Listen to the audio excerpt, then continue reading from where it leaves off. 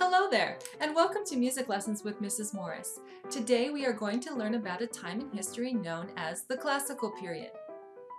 Now, the Classical period falls between the Baroque and the Romantic period, with most of the music being composed between 1750 and 1825.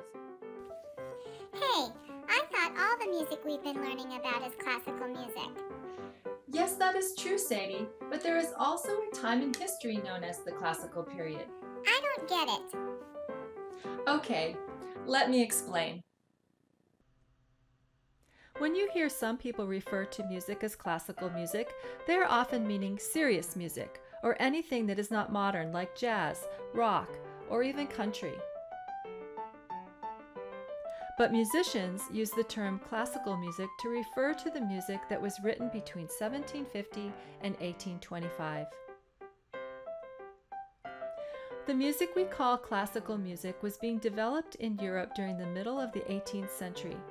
Many changes were happening in music, architecture, literature, and other forms of the arts.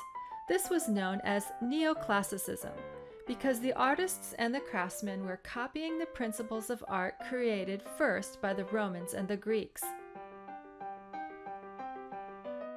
The music of the classical period was both elegant and formal. It was considered orderly and sometimes simple.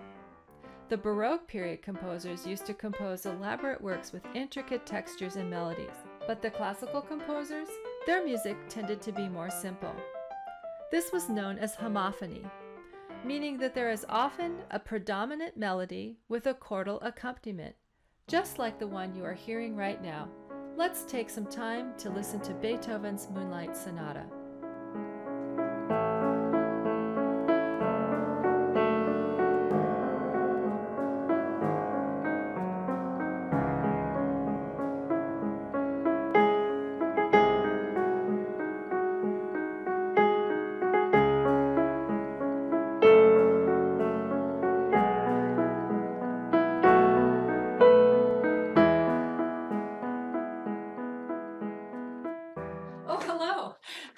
You're back already.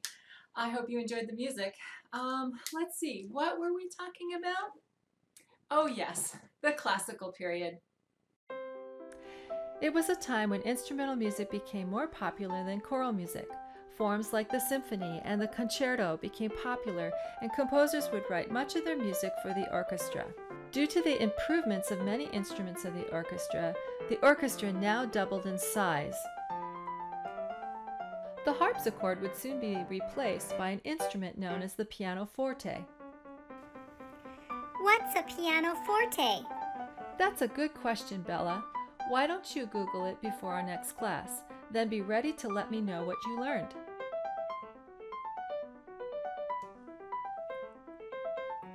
Even though instrumental music was becoming more popular, composers were still writing operas and oratorios and even cantatas.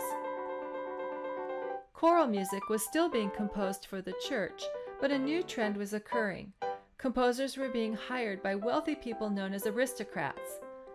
One wealthy man named Prince Esterhazy commissioned Franz Joseph Haydn to compose music for his parties and events. A person who employs composers was called a patron.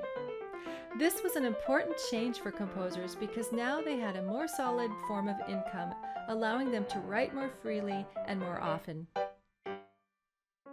There were many composers during the classical period, but the most famous composers of this era were Franz Joseph Haydn, Wolfgang Amadeus Mozart, Ludwig van Beethoven, and Franz Schubert.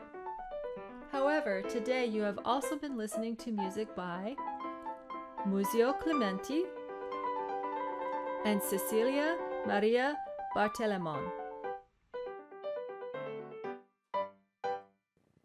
Thank you for joining me on this week's episode of Music Lessons with Mrs. Morris. Now, today we just covered some of the basics of the classical period, but next time we meet, we'll learn some more. Until then, check out these words over here. Choose one and research it. And when you come back, tell me what you've learned.